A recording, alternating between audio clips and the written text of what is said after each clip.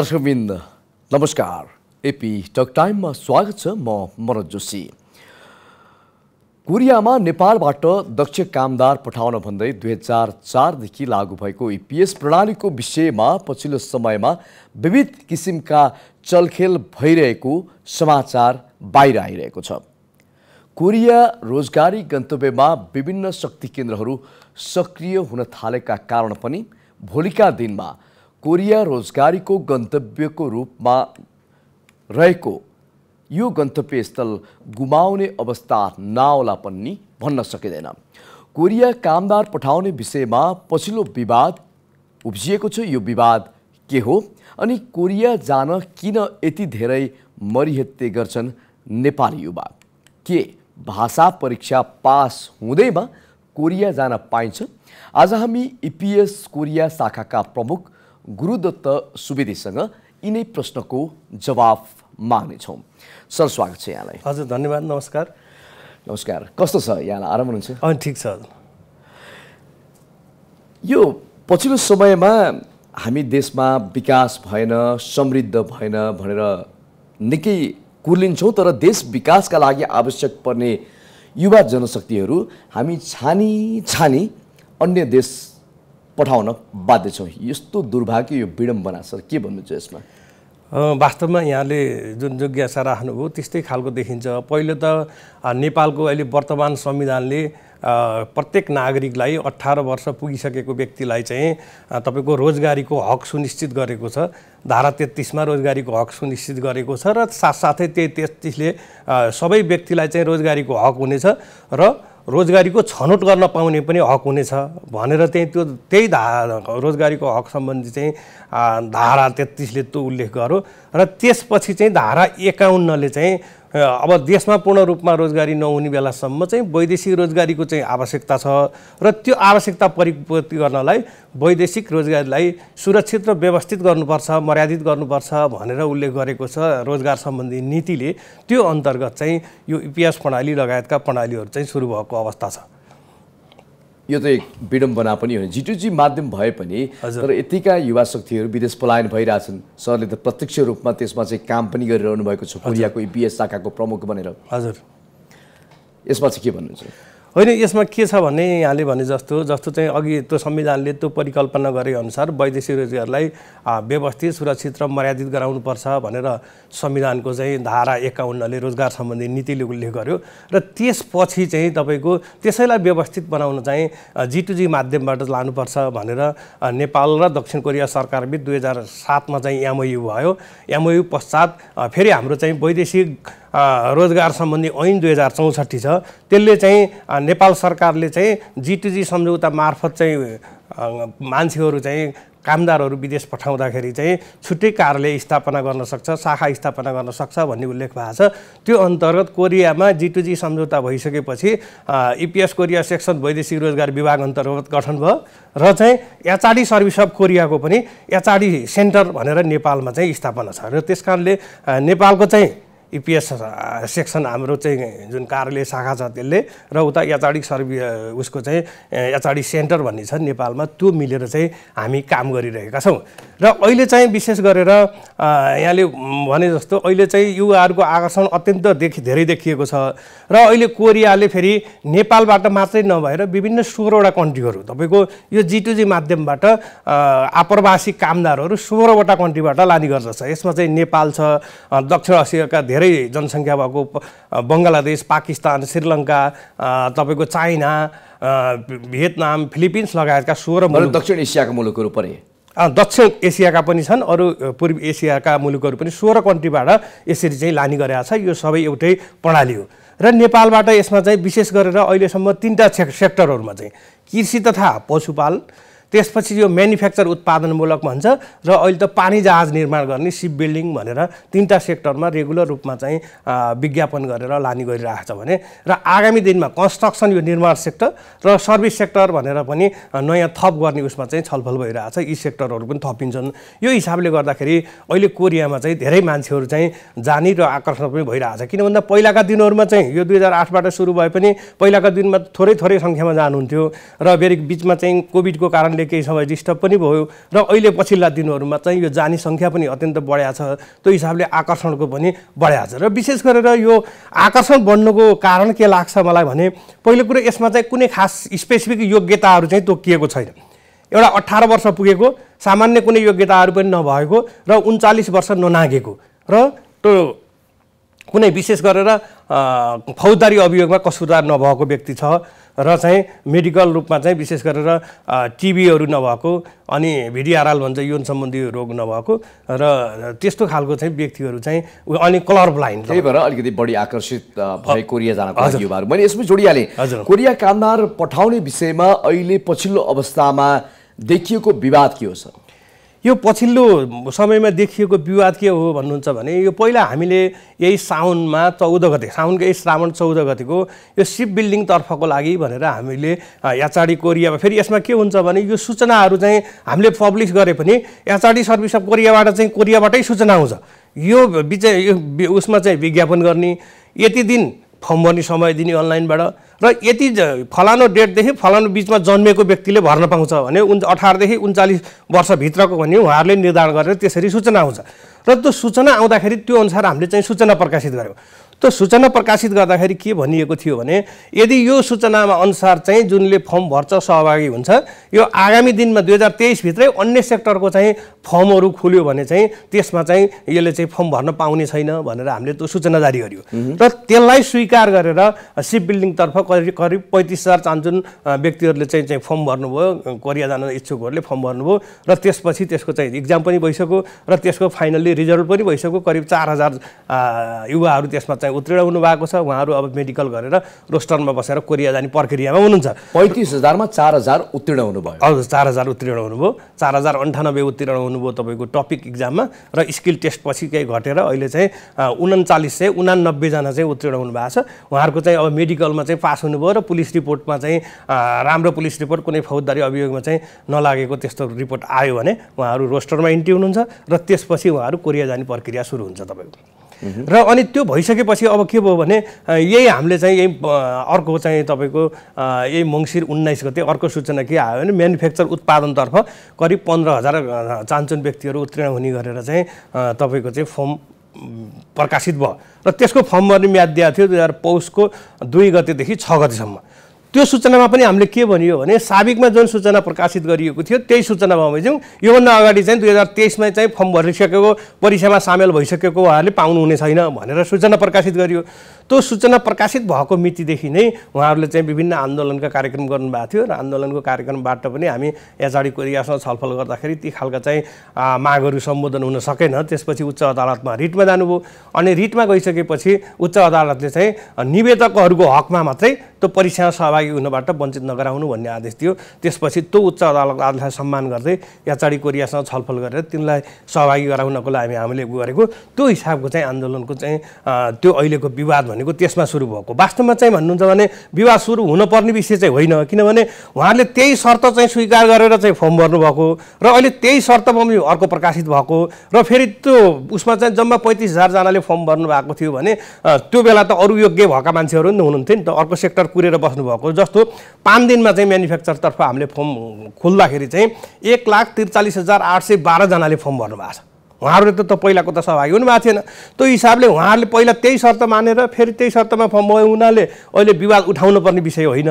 तथापि पनि अब त्यो सङ्ख्या पनि पासरको सङ्ख्या पनि धेरै आएको हुनाले उहाँहरूले हामीले नि पाउनुपर्छ भनेर त्यो खालको चाहिँ विवादहरू सिर्जना गर्नुभएको। वास्तवमा सिर्जना हुनुपर्ने विषय चाहिँ होइन। अहिले पनि आन्दोलन जारी छ? किन भन्दा त अदालतको उच्च अदालत अदालतको आदेश बमोजिम हामीले ती ती सहभागी अठारजनालाई चाहिँ सहभागी गराउनु भयो। हजुर। अन्य बाँकीलाई चाहिँ सहभागी गराउन सकिएन। हजुर हजुर। भनेपछि अन्य जो सहभागी भएनन् उनीहरूले अहिले चाहिँ प्रदर्शन जारी राखेका छन्। आज पनि त्यो उहाँहरूलाई हामीले आज बोलाएको छौँ। आज बोलाउँदाखेरि चाहिँ त्यो अठारजनालाई चाहिँ सम्पर्क गर्न आउनु उच्च अदालतको आदेशको लागि बमोजिम हामीले चाहिँ सहभागी गर्छौँ भनेर सम्पर्क गर्न आउनु भनेको थियौँ। त्यो अन्तर्गत चाहिँ सबै हामी पाउनुपर्छ भनेर फेरि गतिविधि आज पनि भइरहेको अवस्था जस्तो यो जिटिसी माध्यमबाट भइसकेको प्रक्रियामा अठारजना जो अदालत गए उनीहरूको पक्षमा निर्णय आइसकेपछि कामदार त हामीले कोरिया पठाउने हो। कोरिया सरकारको जवाब चाहिँ के आएको छ यो अदालतको केसमा? यो अहिलेको पोरपर अहिलेको अदालतको केसमा भन्दा पनि तपाईँको एचआरडी कोरियाको चाहिँ एचआरडी सेन्टर नेपाल छ त्यहाँ कन्ट्री डाइरेक्टरै बस्नुहुन्छ र उहाँहरूले हामीले विभिन्न समयमा जस्तो यहाँहरूले पनि हामीले पाउनुपर्छ भनेर उहाँहरूसँग हामीले यहाँ मुभमेन्टहरू गरिरहँदाखेरि हामीले यस्तो प्रदर्शन भइरहेछ वार्ता गरौँ के निकास गर्न सकिन्छ भनेर धेरै चरणमा हामी पनि बसेका छौँ। उहाँहरूलाई के लागिरहेछ भने वास्तवमा चाहिँ हामी अलिकति संयमी हुनुपर्ने एउटा अनुशासित हुनुपर्ने चाहिँ अवस्था चाहिँ देखिन्छ। उहाँहरूलाई के लागिरहेछ भने जस्तो उहाँहरूले त सोह्र कन्ट्रीबाट लानुहुन्छ नि त। नेपालका भन्दा अरू दक्ष जनशक्ति भएको चाइना जस्ता मुलुकहरूबाट पनि लानुहुन्छ। र उहाँहरूले के भन्नुहुन्छ भने कुनै पनि देशमा सोह्र कन्ट्रीमा ठुलो ठुलो जनसङ्ख्या बोकेर बसेको थोरै क्षेत्रफल भएर पनि जनसङ्ख्याको उता ठुलो छ नि बङ्गलादेशमा त्यो बेरोजगारीको नेपालमा भन्दा बढ्ता छ। तपाईँको त्यत्रो त्यत्रो जनसङ्ख्या बोकेर बसेको चाहिँ देशहरूमा कुनै समस्या नआउने तेरो नेपालमा मात्रै किन यस्तो खालको चाहिँ समस्या आउँछ भनेर उहाँहरूले त्यस खालको चाहिँ प्रश्न उठाउनु भयो। प्रश्न उठाउनुहुन्छ। किन भन्दा यो समस्या अहिले मात्रै नभएर योभन्दा पहिला पनि तपाईँको विभिन्न चरणमा एकाध वर्षदेखि चलिरहेको छ। विभिन्न रिटर्नी साथीहरूले पनि पहिला एकचोटि पाँच वर्ष बसेर आएका साथीहरू र बिचमा फेरि पास भएर जान ढिलो हुँदाखेरि हामी छिटो जान पाउनुपर्छ भनेर पनि उहाँहरूले यस्ता खालि प्रश्न उठाइरहनु भएको थियो। तर यसको एउटा चाहिँ वेल स्ट्यान्डर्ड एउटा पद्धति छ कि कसैले त्यहाँ इन्टरफियर गर्ने त्यो ह्युमन उसको चाहिँ ऊ कुरै छैन। तपाईँको यसको के हुन्छ भने मैले थो सरसर्ती यहाँलाई जानकारी गराउनु पर्दाखेरि जसरी हामीले यहाँले उहाँहरूले सूचना यो मितिदेखि यतिसम्म यो प्रकाशित गरिदिए भनेर एउटा सूचना आउँछ त्यसलाई हामीले नेपालीकरण गरेर ती शर्तहरू राखेर हामीले सूचना प्रकाशित गरिदिन्छौँ। सूचना प्रकाशित प्रकाशित गरिसके अनलाइनबाट हामीले त्यही तोकिएको समयमा हामीले फर्महरू चाहिँ अनलाइनबाट भरिन्छ। त्यो भरिसकेपछि त्यसको सबै डाटाहरू चाहिँ हामीले फेरि एसपिएससी स्पास सिस्टम भन्छ हाम्रो फेमिस नेमिस भन्ने जस्तो एउटा स्पास सिस्टम छ कोरियाको। त्यसमा चाहिँ हामीले पाँच सय पाँच सयको एक्सेल सिट बनाएर चाहिँ हामी सबै डाटा उहाँ पठाउँछौँ। त्यो पठाइसकेपछि कसको फर्म स्वीकृत गर्ने नगर्ने पनि उसैले यकिन गर्छ। यो फर्म भर्ने मध्येको कतिपयको फर्म स्वीकृत नहुन पनि सक्छ। अनि त्यो फर्म स्वी- स्वीकृत गरिसकेपछि उसले यति यति उसको चाहिँ फर्म स्वीकृत भयो। अब यो अनुसार चाहिँ परीक्षा तालिका सञ्चालन गर्नु भनिसकेपछि उसले परीक्षा तालिका पठाउँछ। त्यो तालिका हामीले चाहिँ सूचना प्रकाशित गरिदिन्छौँ हामीले फेरि। यति यो डेटमा यस्तो यस्तोको परीक्षा हुन्छ यतिदेखि भने सूचना प्रकाशित गरिदिन्छौँ। त्यो सूचना प्रकाशित गरिसकेपछि के हुन्छ भने हाम्रो एक्जुलरी सपोर्टिङ कामहरू हामीले गर्छौँ सहायक कामहरू हामीले गर्छौँ कोर कामहरू उहाँले गर्नुहुन्छ। जस्तो सहायक काम भन्नाले त्यो गरिसकेपछि मान्छेको पहिचान गर्नलाई तपाईँको चाहिँ बायोमेट्रिक हाम्रो त्यो सम्झौतामै त्यो खालको छ। किन भन्दा पहिला खालका चाहिँ त्यो मान्छेले कुनै पनि हाम्रो चाहिँ एउटा आचरणले गर्दाखेरि एउटा अविश्वासको वातावरण सिर्जना हुन्छ। पहिला पहिला के भयो भने यो पेपर बेस हुँदाखेरि नेपालमा फेक मान्छेहरूले जाँच दिने भयो। एउटाको जाँच अर्कोले दिइदिने विभिन्न चाहिँ उहरू चार्जहरू लिएर दिइदिने अनि त्यो गर्दाखेरि उहाँहरूले त्यो खालको अनुभूति गर्नुभयो फेक मान्छेहरू परीक्षा केन्द्रबाट फेला पार्नुभयो निकाल्नुभयो भनिसकेपछि अब यहाँ फेक मान्छेले दिएर छन् भनेपछि अहिले पाँच पाँच पटक बायोमेट्रिक गर्ने हो बायोमेट्रिक भनेको चाहिँ त्यो व्यक्तिको भेरिफिकेसन मात्र हो त्यसको अरू केही छैन भेरिफिकेसनको लागि मात्रै। त्यो हिसाबले गर्दाखेरि त्यस्तो हाम्रो चाहिँ अफिसमा बायोमेट्रिक रजिस्ट्रेसन हुन्छ। त्यसपछि हाम्रो चाहिँ युबिटी बिल्डिङ भन्ने भैँसेपाटीमा छ। उहाँहरू त कोरियाकै नियन्त्रणमा छ एचआरडी कोरियाको। अनि त्यहाँमा पनि फेरि त्यसको चाहिँ परीक्षामा सहभागी हुनभन्दा अगाडि भेरिफिकेसन हुन्छ तपाईँको चाहिँ। बायोमेट्रिक भेरिफिकेसन हुन्छ। त्यसपछि उहाँ परीक्षा हलमा प्रवेश गर्नुहुन्छ। परीक्षा पनि युबिटिकस इक्जाम भन्छ त्यो ट्याबबाट उहाँ कोरियाबाटै कन्ट्रोल हुन्छ। र त्यो मान्छेले कता फर्को कतिचोटि यता फर्को माथि हेरौँ तल हेरौँ त्यो पनि उहाँहरूले मोनिटरिङ गर्नुहुन्छ। त्यो खालको दिनमा तपाईँको आठ सयजनाको दरले मात्रै इक्जाम हुन्छ तपाईँको। दिनमा दुई सय एउटा सिफ्ट र चार सिफ्ट गरेर आठ सयजनाको मात्रै हुन्छ।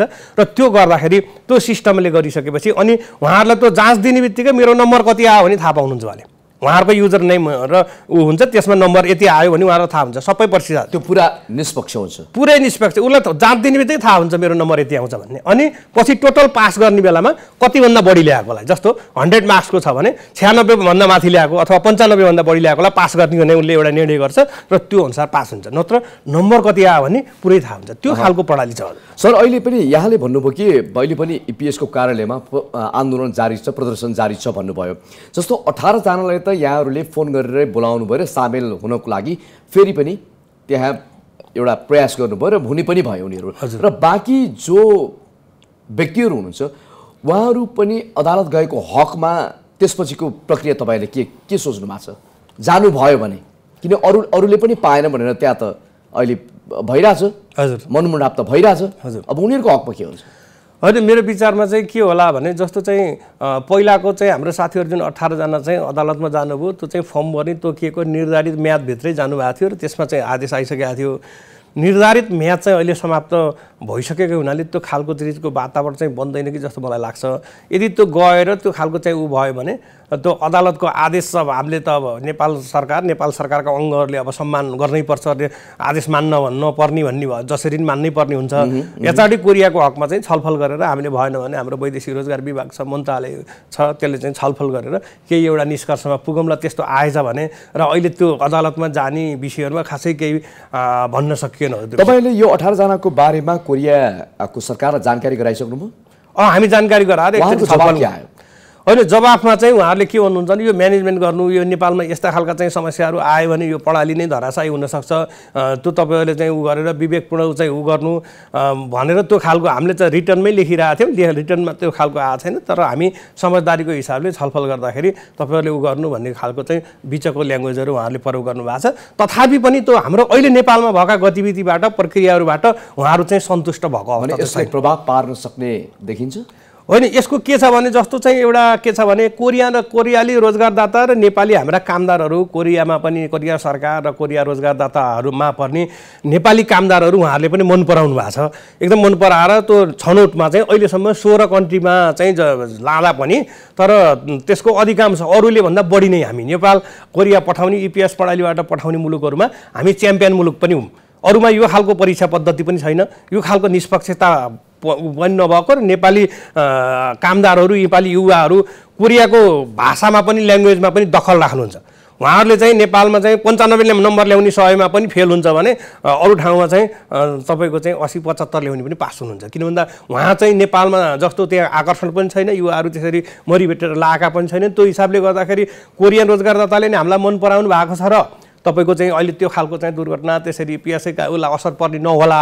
तथापि पनि यस्ता बढ्दै गयो भने उहाँहरूलाई त चोइस छ नि त। हेर्ने दृष्टिकोण अलिकति परिवर्तन हुन सक्छ परिवर्तन हुनसक्छ अनि सोह्रवटा कन्ट्रीबाट लैरहेछ अनि इन्डिया जस्ता लार्जेस्ट मुलुकहरू पनि यो इपिएस प्रणालीमा जान चाहिँ लाइलायत छन्। उहाँहरू पनि जान खोजिराख्नु भएको छ। र सोह्र कन्ट्रीबाट पनि यदि नेपालको काम कार्य प्रक्रियाबाट चाहिँ सन्तुष्ट भएन भने त अरू पन्ध्र कन्ट्रीलाई नेपालको कोटा अलिअलि थपिदिए पनि पुग्यो।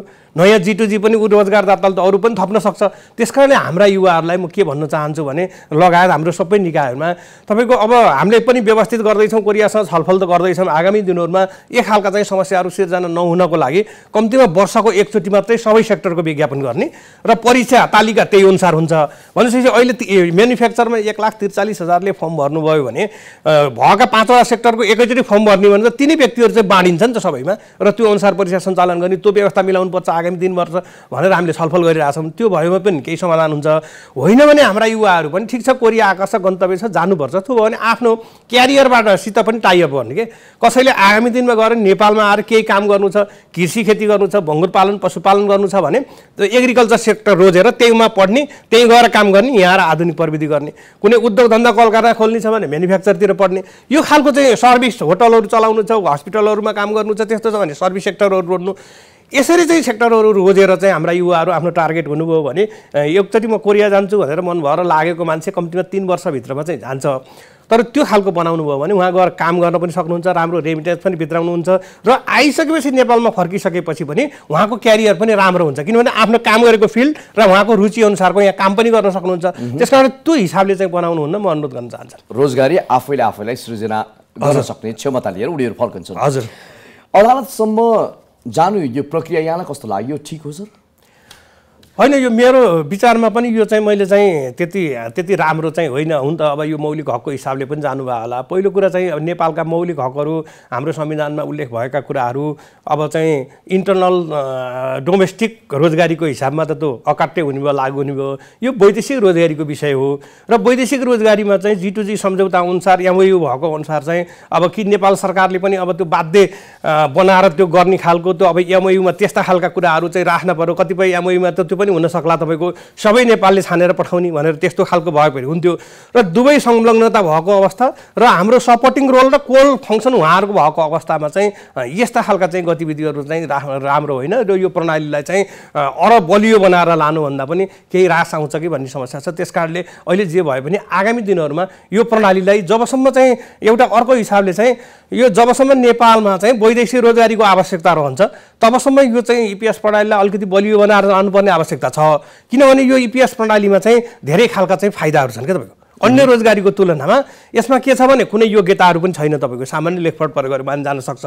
अनि गइसकेपछि यो निष्पक्ष वेल इस्ट्याब्लिस अनि जिटिजी सम्झौता त अरू पनि भएको छ नि तपाईँको इजरायलमा पनि भएको छ तपाईँको चाहिँ बेलायतसँग पनि भएको छ अस्ति पैँतालिसजना नर्सहरू पनि छानिनु भयो होइन?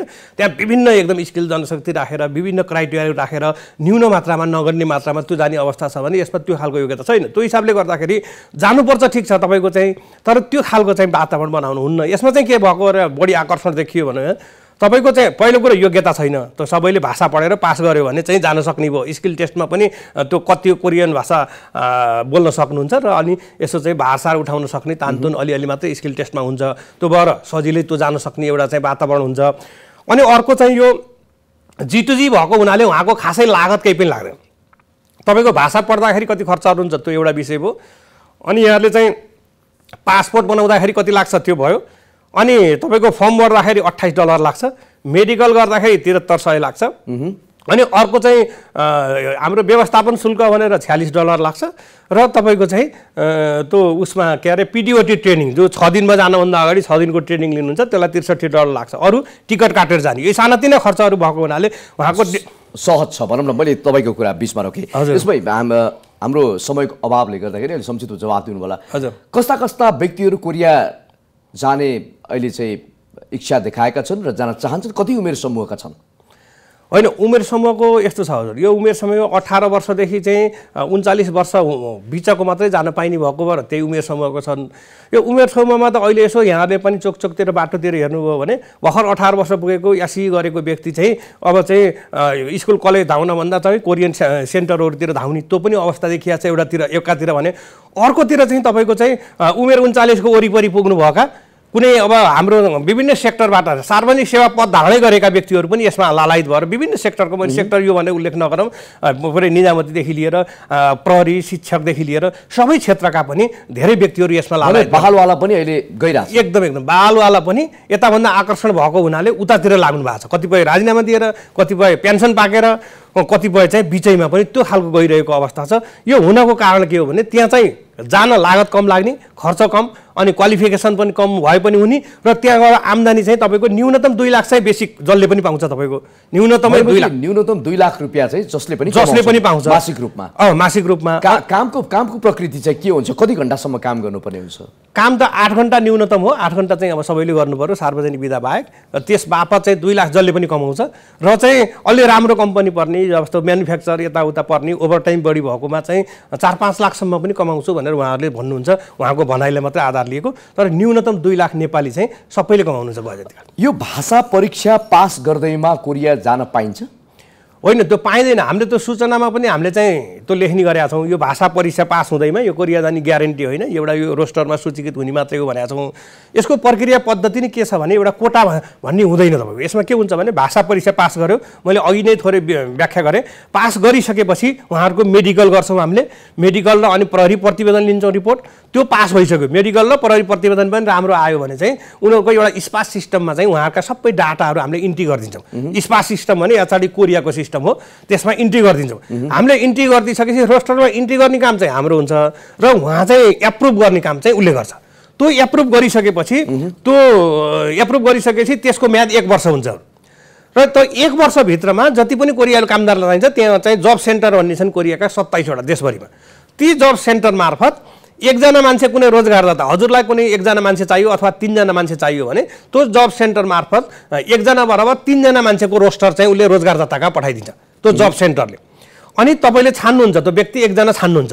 त्यो छानिसकेपछि त्यसले त्यो छानिएको मान्छेको लेबर कन्ट्याक्ट इस्यु हुन्छ अनि चाहिँ तपाईँको चाहिँ त्यो लेबर कन्ट्याक्ट इस्यु भएपछि उहाँको चाहिँ न्याय तथा गृह तथा न्याय मन्त्रालयले चाहिँ एउटा सिसिबिआई भन्ने एप्रुभल दिन्छ।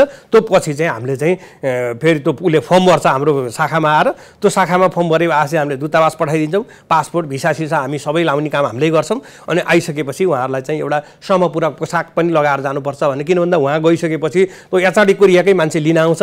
लिन आइसकेपछि उसलाई लहर बुझेर जिम्मा लिएर लान्छ एयरपोर्टबाटै। अनि लहर चाहिँ उहाँ फेरि तालिम सेन्टरमा लहर राख्छ। दुई दिनको चाहिँ तालिम दिन्छ र त्यो तालिम दिइसकेपछि फेरि रोजगारदाता त्यो तालिम केन्द्रमा बोलाउँछ। जसको जाममा काम गर्न जाने हो त्यसमा चाहिँ बोलाउँछ र त्योलाई जिम्मा लाएर पठाउँछ। त्यो खालको चाहिँ पद्धति भएको हुनाले के हुन्छ भने सामान्यतया चाहिँ जाने पास गर्ने बित्तिकै जाने भन्ने हुन्न। अनि त्यो एक वर्ष त म्याच सकि सकेपछि उहाँ छनौट हुन सक्नु भएन भने फेरि रिमेडिकल हुन्छ एक वर्षमा र फेरि रोस्टरमा इन्ट्री हुनुहुन्छ। त्यो गर्दाखेरि त्यसको म्याद एक वर्ष हुन्छ। र सामान्यतया चाहिँ असी पचासी पर्सेन्ट मान्छेहरू दुई वर्षको भित्र रोस्टरमा बसिसकेको दुई वर्षभित्र चाहिँ जानुहुन्छ। र कोही कदा कथम कदाचित जानु भएन भने पनि फेरि अर्को परीक्षा दिएर फेरि रोस्टरमा बसेर मैले यसो देखेको चाहिँ कोरिया नै जान्छु भनेर कसैले लक्ष्य बनायो भने तिन वर्षभित्रमा चाहिँ त्यो मान्छे जान्छ। प्रक्रिया चाहिँ यस्तो छ। कोरियामा पछिल्लो साता मात्रै आत्महत्या गर्ने सुतेको ठाउँमा कतिपयको मृत्यु हुने कार्यस्थल दुर्घटनामा मृत्यु हुने डिप्रेसनमा जाने आत्महत्या गर्ने यी लगायत कुराहरूमा दुर्घटनामा पाँचजनाको मृत्यु भइसकेको भन्ने छ।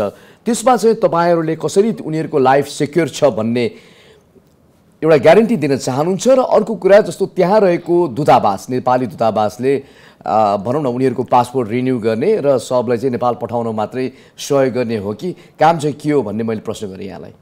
ए होइन वास्तवमा यहाँहरू चाहिँ यहाँले भने जस्ता अहिले पछिल्लो समयमा कोरियामा चाहिँ सङ्ख्या पनि म्याक्सिमम् अब इपिएस प्रणालीबाट गएका व्यक्तिहरूको पाँच पाँचजनाको मैले कुरा गरेँ पाँचजना कार्यस्थलमै ज्यान गुमाएका घटना हुन् नि होइन र? होइन कार्यस्थलमा होइन त्यो पाँचजना चाहिँ फरक फरक छन् तपाईँको। कोही कार्यस्थलमा छ कोही चाहिँ त्यो सुतिरहँदाखेरि के अननोन खालको सुतिरहँदाखेरि छ। मैले पनि यहाँ टक्क हेरेको थिएँ पुरै चाहिँ उता थाहा छैन हामीले। उहाँले चाहिँ रिपोर्ट त पठाउनुहुन्छ दूतावासबाट हाम्रो श्रम सहचारी पनि हुनुहुन्छ होइन। यो हप्ता पाँचजनाको चाहिँ मृत्यु चाहिँ भयो तर अलग अलग कामदार स्तरमा पनि छ। त्यो अलग अलग छ एउटै केस चाहिँ छैन तपाईँको सुतिर यो यो भइरहेको छ यस्तो मृत्यु भनौँ न अहिले यो हप्ता पाँचजनाको भयो भने अघिल्लो उसमा लटमा पनि त त्यस्ता घटनाहरू भइरहेको थियो होला नि। बाहिर नआएका हुन् सर होइन बाहिर पनि आइरहेछ। यसमा के छ भने अहिले चाहिँ यो हाम्रोमा कोरियामा चाहिँ एक लाख दस हजार जति मान्छेहरू यो प्रणालीबाट जानुभएको छ र अहिले करिब पचास हजार मान्छेहरू हुनुहुन्छ र यो बिचमा चाहिँ त्यस खालका चाहिँ मृत्युहरू पनि भएका छन्। तपाईँको चाहिँ झन्डै दुई सय पचासजना जति मान्छेको मृत्यु भएको छ। निकै दुःखद कुरा हो नि निकै दुःखद कुरा हो। यसमा चाहिँ के छ भन्नुहुन्छ यहाँले अगाडि उठाए जस्तो तपाईँको सुसाइडबाट चाहिँ अडसट्ठीजना जतिको मृत्यु भएको छ होइन। अनि सडक दुर्घटनामा चाहिँ उन्तिसजना जतिको मृत्यु भएको छ होइन? अनि तिसजना जति चाहिँ अन्य दुर्घटनाहरूबाट चाहिँ मृत्यु भएको छ र अननोनली चाहिँ त्यो सुतेको अवस्थामा मृत्युहरू पनि हुने पनि छ चारजना जति यसो पानीमा डुबेर पनि मृत्यु भएको छ यो मृत्युका कारणहरूमा यो विभिन्न कारणहरू छन् र कस्तो भने जस्तो कारखानाजन्य उसमा चाहिँ दुर्घटनालाई चाहिँ अब पुरै निर्मूल गर्न सकिएन होला कहिले कटिङ सटिङ गर्नु पर्ने उसमा होला मेसिन बिग्रेला चेक गर्नुपर्छ त्यो खालको समस्याहरू होला। तर यो तपाईँको चाहिँ सुसाइड गर्ने तपाईँको अननोनली चाहिँ मृत्यु हुने यो सडक दुर्घटना जस्तालाई हामी शून्यमा पनि ल्याउन सक्छौँ र त्यसको लागि हामीले पनि पहल गरिरहेछौँ जस्तो यहाँ पनि हाम्रो इपिएस शाखा मार्फत पनि कोरिया जाने परिवारहरूसँग अन्तर्क्रिया गर्ने यस्तो व्यवहार गर्नु यसो गर्नु पैसाहरूको सदुपयोग गर्नु दुरुपयोग नगर्नु भन्ने त्यस्ता खालका गर्छौँ भने उहाँ एमएससी मार्फत पनि ह्याप्पी रिटर्न भनेर हामीले केही गर पठाएर श्रम सहचारी मार्फत पनि त्यो कार्यक्रम भइरहेको छ एमएससीले कतिको सहयोग गर्छ सर त्यहाँ जाने कामदारलाई? होइन त्यहाँ सहयोग गर्छ। तपाईँको कोरियाको हकमा त अन्य देशको तुलनामा चाहिँ त्यस्ता धेरै समस्याहरू पनि गुनासो त निकै आउँछ नि। होइन यस्तो होइन दूतावासको भन्नाले यस्तो छ कोरियाको हकमा चाहिँ अन्य कामदारहरू धेरै नभएको र जिटुजीको प्रणाली मार्फत मात्रै भएको हुनाले अरू खालका चाहिँ समस्याहरू छैनन् जस्तो चाहिँ अरबियन कन्ट्रीतिर जानुभयो भने वैदेशिक रोजगार विभागमा चाहिँ ठगिए भन्ने दिनदिने मुद्दाहरू उजुरीहरू दुनियाँ तनाव छ भने यसको एउटा पनि छैन त्यस्तो। कुनै पनि त्यस्तो गुनासो छैन कि एउटा पनि गुनासो छैन। किन भन्दा त्यो हुँदै हुँदैन जिटुजी भएको हुनाले त्यस्तो खालको समस्या आउँदैन। उहाँलाई त्यो खालको चाहिँ समस्या छैन। उहाँ गएर कार्यस्थलमा पनि त्यस्ता चाहिँ काम गर्ने काम नपाउने ती खालका चाहिँ समस्याहरू पनि छैनन्। तपाईँको हाम्रो मुख्य भनेको चाहिँ जस्तो चाहिँ डिप्रे सुसाइड भने जस्तो एउटा डिप्रेसनको विषय हो। त्यो कसरी हुन्छ भन्नुहुन्छ भने सानो र महत्त्वपूर्ण कुराहरू हेर्दाखेरि मैले यसो मैले यसो बुझेको त्यहाँको स्टडीमा हेर्दाखेरि जस्तो चाहिँ हामी चाहिँ त घरमा केही पनि काम गरे हुँदैन कि? कोही लक्की मान्छे छ भने त अठार वर्ष पुग्यो ठ्याक्क फर्म भऱ्यो दुई तिन महिनामा जाँच भयो अनि जाँच भयो रोस्टर पास भयो र रोस्टरमा पनि बस्यो अनि छनौट पनि भेट्न पऱ्यो पाँच छ महिनाभित्र त गइसक्छ। कुनै पनि त्यो रोस्टरबाट छान्दाखेरि चाहिँ कतिपय त छानिहाल्छ तपाईँको छानिहाल्दा गइसक्छ। यहाँ घरमा सिनको भाँचिया छैन तपाईँको। आमाले बुवाले दस पटक उठ बाबु नानी खाना खाना उठ भन्दाखेरि त एकछिन एकछिन भनेर चाहिँ आधा घन्टा पछि सुत्ने मान्छे। त्यहाँ गएपछि त उहाँहरू त कडा अनुशासन तपाईँको फलामै अनुशासन छ। आठ घन्टा त काम गर्नै पऱ्यो भनेपछि म त्यस्तो गरेर आएको मान्छे यस्तो दुःखमा पैसै रहेछ भनेर आइयो भन्ने मान्छेले त्यस्ता खालका चाहिँ अनि कुनै दिन के हुन्छ मान्छेलाई चित्त बुझ्या हुन्न रिस उठ्या हुँदैन। कहिले साउले गाली गर्ला कहिले के होला। बिचमा फर्किन चाह्यो भने फर्किन पाइन्छ कि पाइँदैन? होइन फर्किनु पाइन्छ तपाईँको त्यस्तो केही चाहिँ इन्सुरेन्सको व्यवस्था चाहिँ कसरी गरिएको छ? होइन इन्सुरेन्सको व्यवस्था यस्तो छ। अब नेपालको हकमा चाहिँ के छ भने जाने बेलामा नै इन्सुरेन्स तपाईँको हुन्छ। यो बोर्डमा चाहिँ कल्याणकारी कोष भनेर त्यहाँ पच्चिस सय रुपियाँ जम्मा गर्नुपर्छ। त्यो पनि छ। कतिको इन्सुरेन्स गरिन्छ सर? त्यसको चाहिँ कति चौध लाख रुपियाँको हुन्छ तपाईँको इन्सुरेन्सको। अनि बोर्डको चाहिँ त्यस्तो मृत्यु सृत्यु केही भयो भने चाहिँ सबहरू ल्याउनेदेखि लिएर एकमुष्ट सात लाख पनि पाउने हुन्छ। र अहिले त सामाजिक सुरक्षा भन्ने पनि अनिवार्य छ। त्यो जाने बित्तिकै तेइस सय आठ रुपियाँ चाहिँ सुरुमा जम्मा गर्नुपर्छ। त्यसले अरू खालका चाहिँ पेन्सन लगायतका कुराहरू पनि त्यसले बिहोर्छ। त्यस कारणले अहिले अब त्यो खालका चाहिँ समस्याहरू आगामी दिनहरूमा चाहिँ हुँदैनन्। अहिले खालको चाहिँ सिस्टमेटिक रूपमा तय भइरहेछ। र फेरि कोरियामा पनि विभिन्न खालका इन्सुरेन्सहरू तिन चार पाँचवटा प्रकारका इन्सुरेन्सहरू हुन्छन्। उहाँ पनि तपाईँको दुर्घटना जान्नेदेखि उपचार सुपचारमा कुनैमा समस्या हुँदैन यहाँको चाहिँ। तपाईँको कर लाखौँ करोडौँ उपचार भए पनि उहीँ रोजगारदाताले नि गर्छ। त्यो हिसाबले चाहिँ कुनै खालको समस्याहरू छैन त्यसमा। सर अहिले यो जुन इपिएसको कुराहरूमा विभिन्न विवादहरू झिकिएको छ केही शक्ति केन्द्र पनि यसमा चलखेलमा लागेको छ भन्ने कुरा साँचो हो इपिएसको विरुद्धमा? होइन अब यस्तो छ तपाईँको चाहिँ अब हामीले चाहिँ यत्तिकै कसैलाई चाहिँ अनुमानको आधारमा त हामी त्यो भन्न सकिँदैन। हो कि हो होइन जस्तो लाग्छ तपाईँले एक किसिमको अध्ययन त गर्नुभएको होला। होइन त्यो यस्तो हुन पनि सक्छ। तपाईँको को कोरिया भनेको एउटा आकर्षक गन्तव्य भयो। त्यो तपाईँहरूको विरुद्धमा कोरियामा प्रदर्शन समेत भएको भन्ने समाचार पनि बाहिर आए। त्यो कुरा कतिको सत्य हो? ती ती भनेका त त्यो विभिन्नलाई चाहिँ बनाएर समाचार गर्ने त्यो मेनिपुलेट गर्ने त्यो खालका कुराहरू होलान् त्यस्तो खालको त होइन। परिचालित कोही न कोही समूह त्यस्तो। चाहिँ किन- परिचालित लेभलमा मान्छेहरू छन्। किन होइन किन हुनसक्छ भने यो जिटुजीबाट म वर्षमा बिस तिस हजार मान्छेहरू जान्छन्। जिटुजी प्रणालीबाट जाँदाखेरि त अरू त्यस्ता चाहिँ यो यो ह्युमन रिसोर्ससँग काम गर्ने संस्थाहरूलाई त केही काम भएन नि त तपाईँको। यदि यो प्रणाली फेल भयो भने त त्यो ह्युमन रिसोर्स गर्ने मान्छेहरूसँग चाहिँ जाने होला यो काम। त्यो हिसाबले गर्दाखेरि त आर्थिक बेनिफिट पनि हुने होला। त्यो हिसाबले त्यसको त्यस्तो पनि भएको हुनसक्छ। अब हामीलाई ठ्याक्क आधिकारिक थाहा नभएको भएर छ भन्न चाहिँ सकिएन हुन चाहिँ सक्छ। सर दुई लाइनमा हजुर। के भन्न चाहनुहुन्छ? होइन यो चाहिँ अब यस्तो छ। नेपालमा चाहिँ पूर्ण रूपमा चाहिँ रोजगारी नहुँदाखेरि चाहिँ अहिले चाहिँ वैदेशिक रोजगार चाहिँ एकदम चाहिँ तपाईँको अनिवार्य आवश्यकता जस्तै भएको छ। र अन्य श्रम गन्तव्यको तुलनामा चाहिँ कोरिया एउटा आकर्षक श्रम गन्तव्य पनि भएको हुनाले र सबै हाम्रो युवाहरूले को चाहिँ जुन आकर्षण छ जहिले पनि हामी फर्म भर्नु पर्नु पाउनुपर्छ यो फर्मको तपाईँको एक लाख पाँच दिनमा एक लाख तिर फर्मको रेसियो यो हेर्दाखेरि आकर्षण पनि देखिएको छ। त्यस यस्तो चाहिँ उसलाई चाहिँ गुमाउनु हुँदैन। अब हामीले चाहिँ सबै अब जान युवाहरूले आगामी दिनहरूमा आफ्नो सेक्टर अनुसारको मनस्थिति बनाउने त्यसैमा मात्रै फर्म भर्ने र त्यसैमा जान्छु भन्ने गन्तव्य बनाउने भयो भने यसलाई चाहिँ दीर्घकालसम्म रूपमा नेपाललाई चाहिँ वैदेशिक रोजगारीको आवश्यकता रहने बेलासम्म लान सकियो भने यसबाट चाहिँ व्यक्ति समाज राष्ट्र सबैलाई फाइदा छ कि किनभने आइसकेको मान्छेले रेमिटेन्स मात्रै होइन कोरियामा गएर फर्केको मान्छेले चाहिँ उत्पादनमूलक क्षेत्रमा काम गरिरहेछ अहिले पनि विभिन्न उद्योग धन्दा कल कारखाना व्यवसायिक कृषिमा काम गरिरहेछ सिप पनि त्यही अनुसार छ। केही अनुशासित पनि भएको छ। त्यस कारण यो सबै समाज व्यक्ति राष्ट्र सबैलाई फाइदा भएको हुनाले यसलाई चाहिँ निरन्तरता दिनलाई यस्ता कुनै पनि प्रश्नवाचक चिन्ह नउठाइकन आफू मात्रै हो अरू सबै होइन भन्दा पनि जनलाई रूपमा बुझेर चाहिँ हाम्रा युवाहरू आफ्नो क्षेत्र अनुसारको चाहिँ पहिचान र त्यही त्यही अनुसार लाग्नुभयो भने यसलाई बनाउन सकिन्छ। यहाँहरू त्यही अनुसार चाहिँ लक्षित हुन म हार्दिक अनुरोध गर्न चाहन्छु। सकेसम्म राज्य संयन्त्रले त्यस्ता युवाहरूलाई बाहिर नपठाइकन नेपालमै रोजगारी दिन सक्ने एउटा क्षमता क्रिएट गरोस्। त्यो एउटा हामीले क्षमता राख्न सक्नुपर्छ भन्ने पनि हाम्रो एउटा भनाइ पनि हुन्छ। एकदम एकदम त्यो पर्तो त अनिवार्य बाहिर पठाउनु हुँदैन र वृद्ध वृद्ध जो जो गर्न नसकिन्छ उनीहरूलाई नेपालमा राख्नुपर्ने। त्यो एकदम। अहिले अवस्थाले गर्दाखेरि नेपालको विकास कहिले पनि हुँदैन भन्ने मान्यता पनि स्थापित। एकदम एकदम। सर यहाँसम्म आएर आफ्नो महत्त्वपूर्ण भनाइ राखिदिनु भयो त्यसको लागि यहाँलाई धेरै धेरै धेरै धन्यवाद। यहाँलाई पनि यहाँको एक त लोकप्रिय टेलिभिजन मार्फत यहाँ संवाद गर्ने मौका दिनुभयो त्यसको लागि म हार्दिक आभार धन्यवाद व्यक्त गर्छु दर्शक बिन्द आज हामीले कुराकानी गऱ्यौँ इपिएस कोरिया शाखाका प्रमुख गुरुदत्त सुवेदीसँग। एपी वान हेर्दै गर्नुहोला। नमस्कार।